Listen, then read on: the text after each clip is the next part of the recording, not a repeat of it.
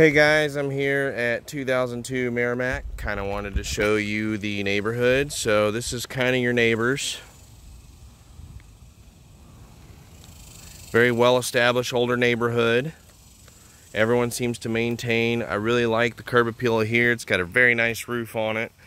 Uh, sits back, got plenty of space. Got some unique features here. So we're gonna go in and check it out. So here's your walk up.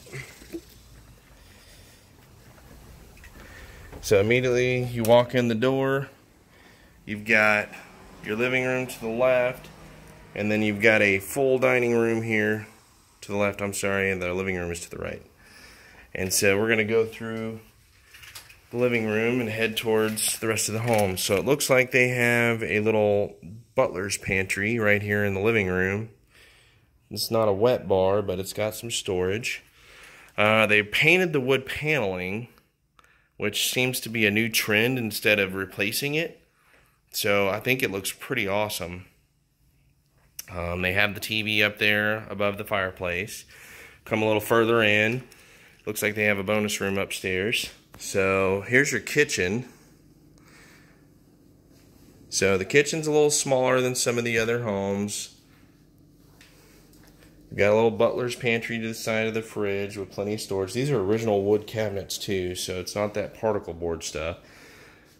You know, they got a Vent-A-Hood put in, nice backsplash, uh, trash compactor, which you won't see very often, so that's definitely old-timey. I don't even think they make them anymore. Here's your pantry.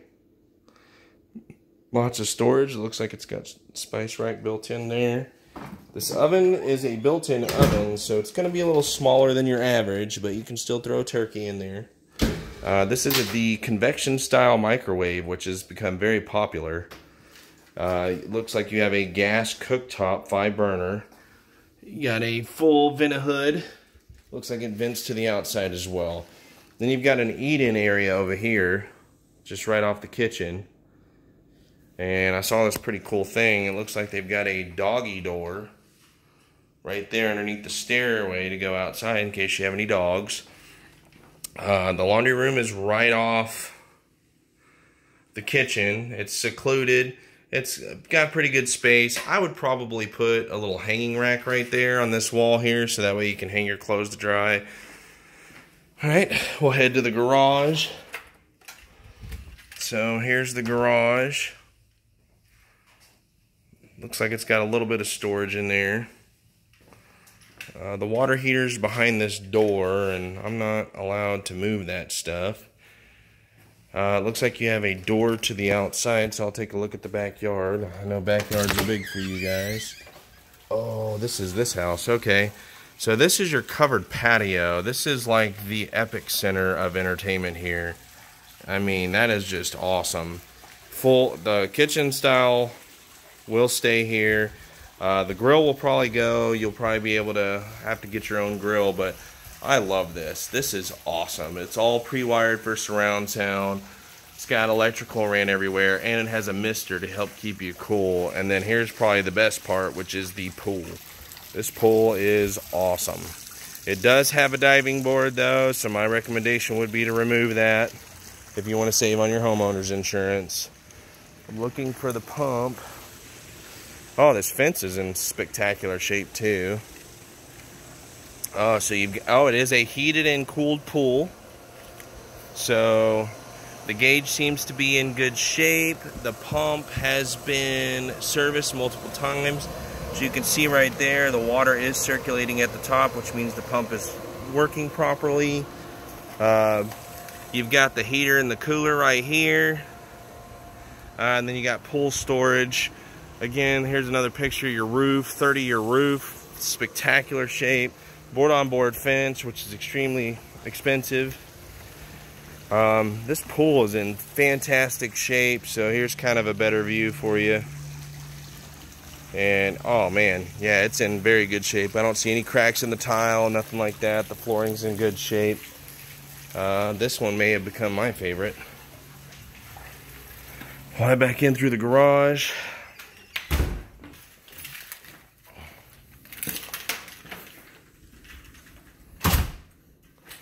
And so we'll stay downstairs for right now. Walk back through the living room. As you can see, there's two entrances to the backyard, which here's the second entrance, so you can kind of have a a huge view of the the outside. But the two ceiling fans the mister the plenty of space for entertainment that is awesome. I haven't seen that. I love this fan and the beams in here too. That's a good feature. So we come over here. Looks like we've got some lights that don't work there we go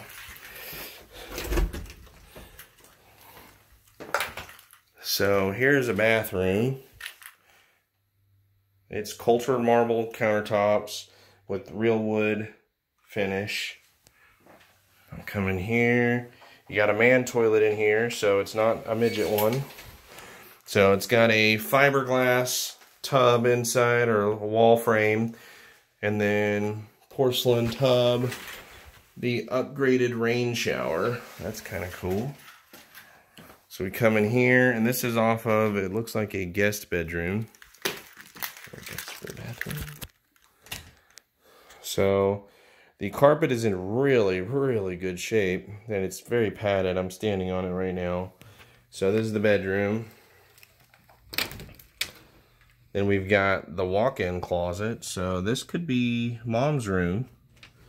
Uh, that is a queen size bed in here. As you can see, she's got room for nightstands on both sides.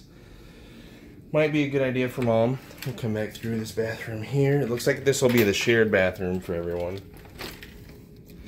Then we've got another bedroom over here. This one's just as good a size too. Look at that, that's another queen bed in here with plenty of room. Nice oversized, and this carpet, like I, it's in great shape. See if this is a walk-in as well. Yes, it is a walk-in, so plenty of storage, built-in storage, awesome.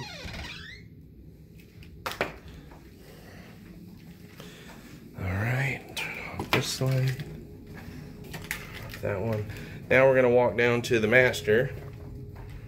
This is also has a door to your extravagant pillow, and I don't know if you noticed this, but the hardwood that's through the living room comes all the way into the walkway of the master to the back door, which your back door, again, shows you this amazing patio. And then you've got crown molding through the top, modern fan.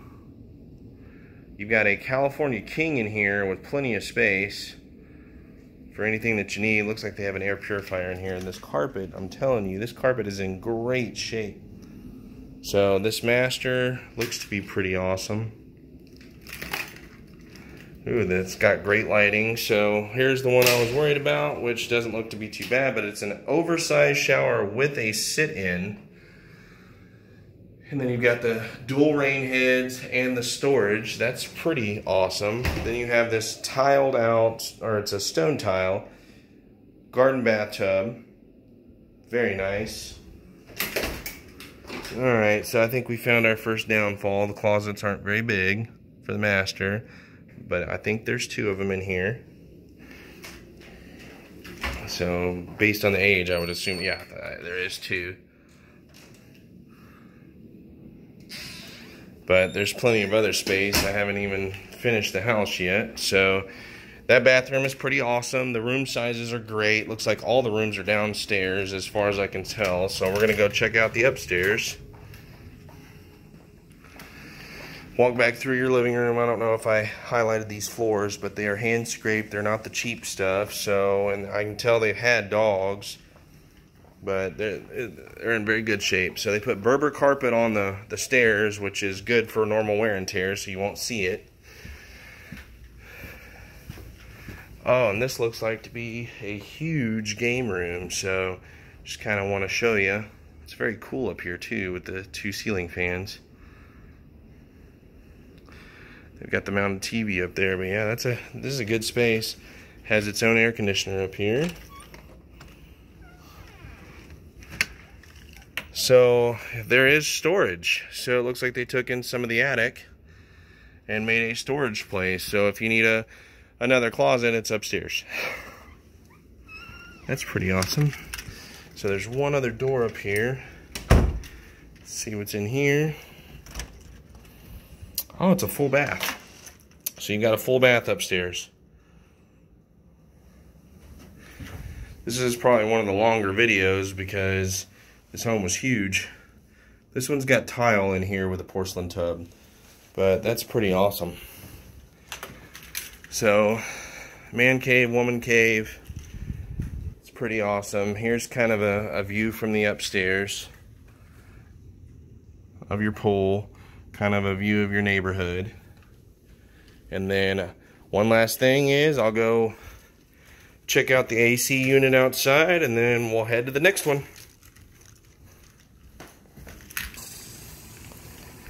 All right, here we are walking the outside.